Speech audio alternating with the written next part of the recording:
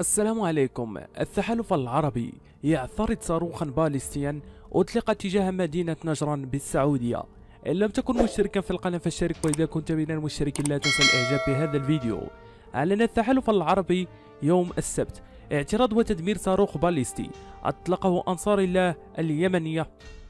أطلقته أنصار الله اليمنية تجاه مدينة نجران السعودية. وقال التحالف في بيان نقله التلفزيون الرسمي السعودي إن المحاولات العدائية للحوثيين أنصار الله لاستهداف المدنيين والأعيان المدنية متعمدة وعبثية.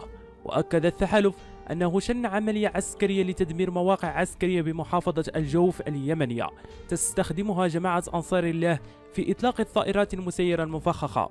وأضاف التحالف أن عملية الاستهداف شملت منصة لإطلاق طائرات مسيرة وعربات إسناد ومشغلين. فيما أكدت قناة المسيرة التابعة لأنصار الله أن الصاروخ البالستي أصاب هدفا عسكريا بدقة.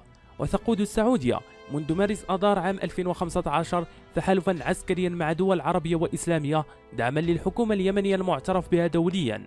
في سعيها لاستعادة العاصمة صنعاء ومناطق واسعة في اليمن سيطرت عليها أنصار الله أواخر 2014 في المقابل تنفذ أنصار الله هجوم بطائرات مسيرة وصواريخ باليستية وقوارب مفخخة تستهدف قوات سعودية ويمنية داخل اليمن وداخل الأراضي المملكة.